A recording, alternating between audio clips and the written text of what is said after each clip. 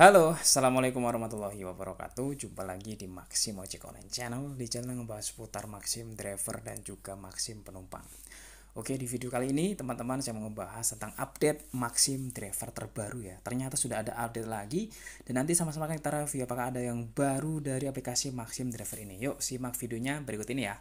Langsung aja di sini yang pertama saya mau buka aplikasi Maxim driver ya Atau text drivernya di sini versi yang uh, lama itu masih versi uh, 3.25.5 ya dan nanti kita akan lihat versi yang uh, terbaru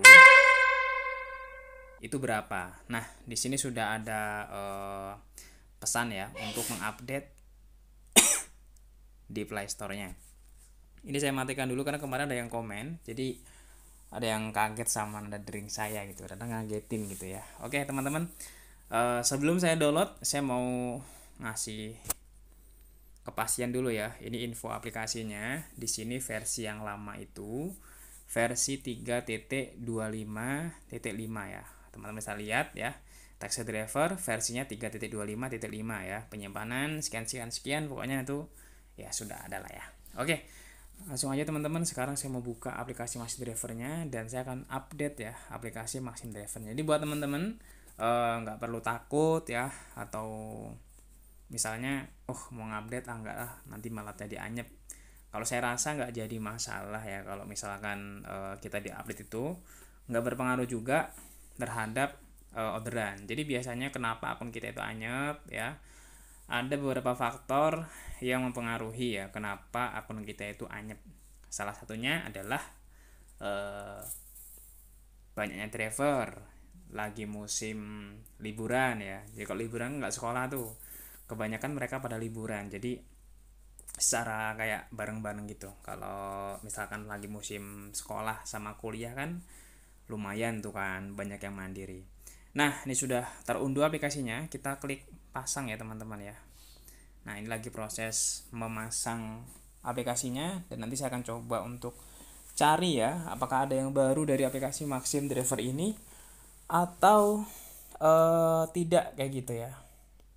Nah ini lagi proses memasang aplikasinya teman-teman. Semoga nanti segera terpasang ya. Dan bisa langsung segera direview. Dan kita nanti sama-sama uh, ada yang baru atau enggak. Kalau kemarin setelah diupdate itu ada beberapa yang baru ya dari aplikasi Maxim Drivernya. Seperti uh, pada saat dapat orderan tuh kan ada ada fitur pesan ya. Jadi sudah bisa kita itu ngeklik ada tulisan halo dan kita nggak perlu ngetik kata halo itu langsung bisa kita kirim. Terus ada kayak uh, tanda kepala gitu kan di bagian orderannya. Terus apalagi ya di bagian fitur chat itu berubah ya. Nah di bagian sini nih di sini berubah. Tulisannya jadi lebih smooth ya lebih kecil gitu kayaknya Nah, oke teman-teman, di sini saya mau ke bagian order dulu ya. Kita lihat secara seksama apakah ada yang janggal atau yang berbeda dari sebelumnya. Sama-sama kita simak ya. Ini sementara kalau yang di sini aman ya. Saya belum melihat juga ada sesuatu yang baru di sini. Ini ada orderan penawaran, kita cancel aja nggak jadi masalah.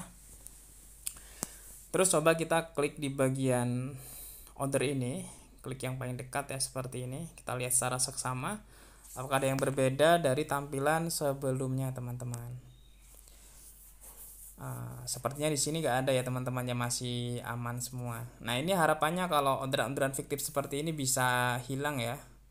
Setelah diupdate orderan-orderan seperti ini bisa tersortir ya. Cuman uh, untuk saat ini masih ada terus ya. Harapan saya pribadi ke depannya bisa uh, hilang seperti itu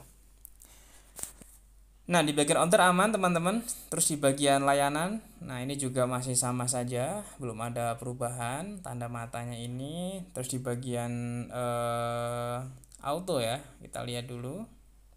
Nah, ini juga uh, sama seperti sebelumnya. Kita hidupkan lagi, teman-teman. Terus di bagian kalau kemarin kan emang ada pembaruan kan peta coba. Nah, di peta juga sama tampilannya tidak ada yang berubah.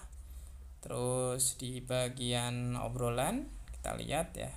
Kalau pengumuman memang kemarin sudah dibahas ya tentang update pembaruan mode otomatis ini sudah di review jadi ini sudah bukan lagi.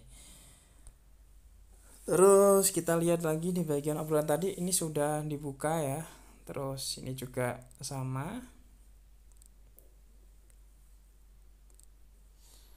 Terus kita geser lagi teman-teman ke bagian uh, layanan ya. Tampilkan profil dulu deh. Tampilkan profil lalu kita buka di bagian mana lagi ini rating kali. Rating juga nggak ada yang berubah. Notifikasi aman. Layanan layanan ini juga aman teman-teman ya. Nggak ada yang uh, berubah. Kita lihat lagi yuk. Geser ke uang ya isi saldo akun kita coba dulu nih oke kita klik isi ulang teman-teman